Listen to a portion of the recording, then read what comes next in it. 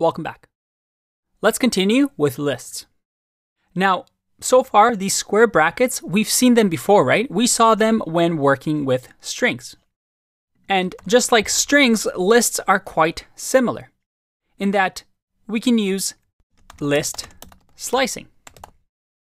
If you remember with string slicing, we had things like hello, and we were able to assign it to a string, let's say a variable string, and we could do string and then slice.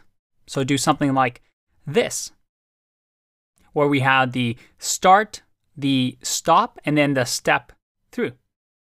So that we start at index of 0 and end at index of 2, and then go one by one. So list slicing is also available to us. So let's make this card a little bit bigger.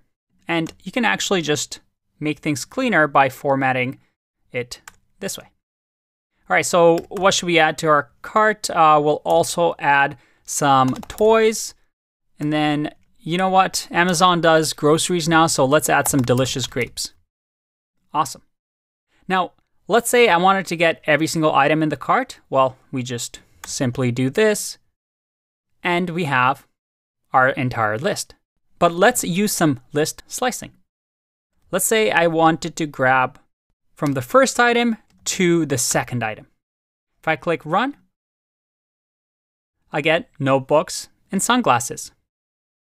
Maybe I want to go all the way till the end, but skip every second one. I get notebooks and toys. We start at zero, we step over to toys, and we step over and we're done. Awesome.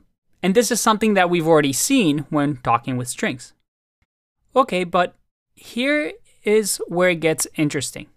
Remember how I said that strings are immutable? That means we can't change them, right? And we talked about this when we had a string like hello.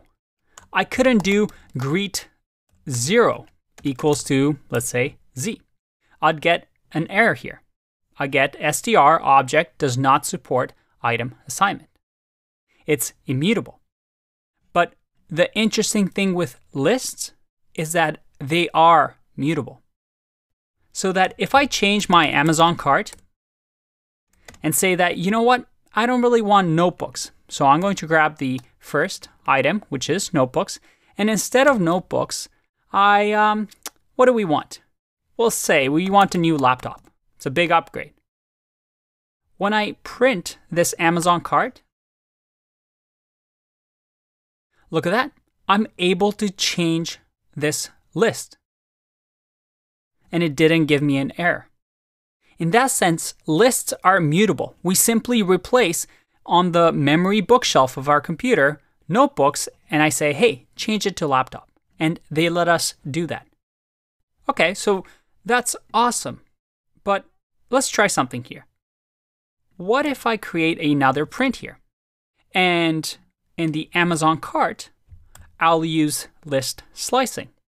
So let's say I want item from index of 1 all the way until index of 3. Let's run this and see what happens. Try and guess. Is that what you expected? Let's go through this code. When we get to line 10, we grab the Amazon cart, which has been updated with laptop, and I grab item 1 to 3. So that is sunglasses to toys. So 0, 1, 2, and then we stop at 3. Just to make this easier to understand, let's start off with 0 here so that we see that laptop has been changed. And then here in the second one on line 11, we print the Amazon cart. But hold on a second. This list did not change. And that is because with list slicing, we're creating a new list, a new copy of this list.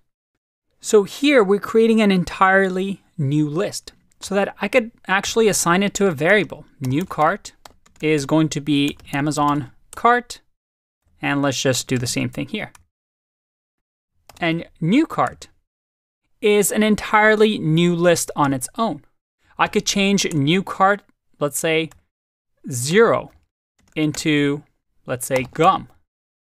And if I print this, you see that I have two new separate lists. But a list is mutable because I can change whatever is at the index anytime I want. And every time we do list slicing, we create a new copy of that list. But I have a tricky question for you here. What happens if I just do this? If I run this, hmm, did you see that? Instead of slicing my list, I simply said that new cart is going to equal the Amazon cart. And I changed the new cart, index of zero, to equal to gum. But now my Amazon cart got modified as well. Why is that?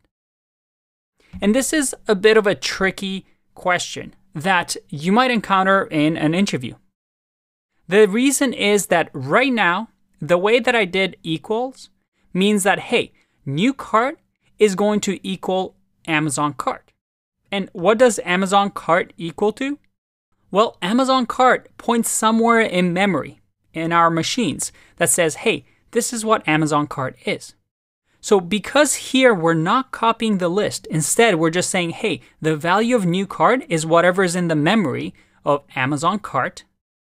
We now, when we modify new cart, are simply changing the Amazon cart all the way back from here.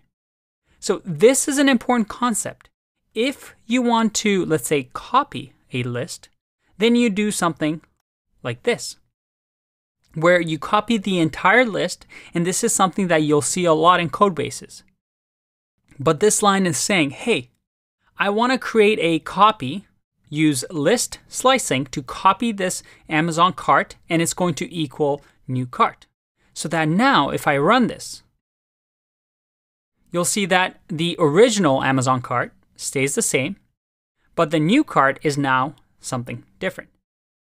This is a quick gotcha that you just have to get used to, but it's an important concept. This idea of copying versus modifying the list.